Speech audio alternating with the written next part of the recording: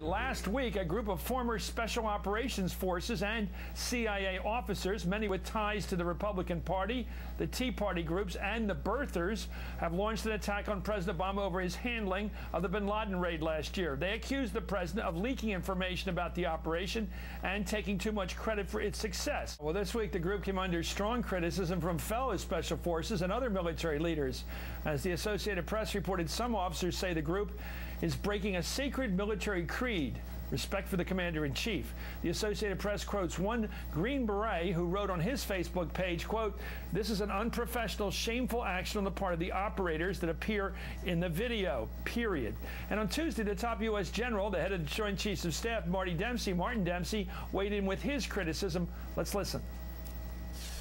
The American people don't want us to be another special interest group. But if someone uses the uniform, whatever uniform it is, uh, for partisan politics, I'm, I'm disappointed by that because I think it does erode that bond of trust we have with the American people.